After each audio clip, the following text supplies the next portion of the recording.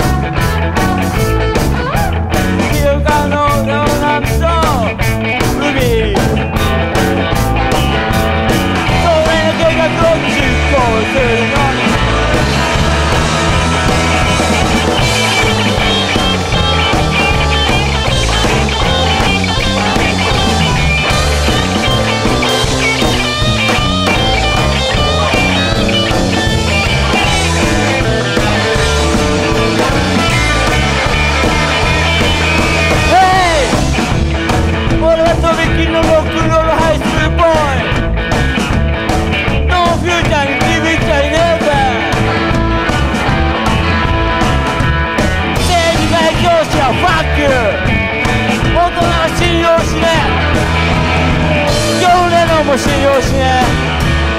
キース・リチャーズも信用しねえセックス・ピストルズもボブ・マーリーも信用しねえぜだけどだけど大好き家に帰るとママが言ったねえイッチ真面目に勉強して一生懸命仕事すれば社長にもなれるし六本木ヒルズにも住めるしフェラーリやって帰るのよ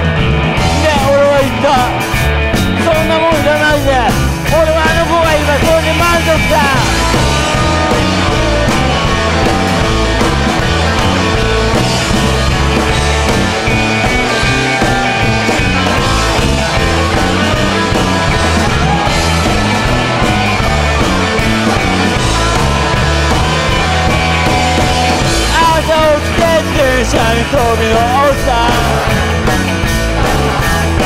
途中下車して昼まで眠ろう。